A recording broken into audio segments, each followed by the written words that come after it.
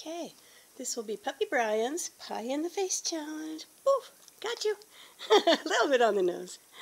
Um, Brian supports Huntington's disease research because he belongs to me, Dr. Nolta, and he helps me a lot when I'm writing grants and writing progress reports for CIRM because he sits in my lap and wags his tail and gives me kisses and just does a great job um, as a advocate and bringing awareness now.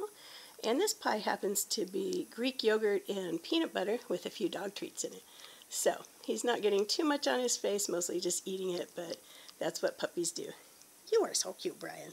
So please support Huntington's disease research and awareness and patient care through any of the organizations and share this video. Thanks.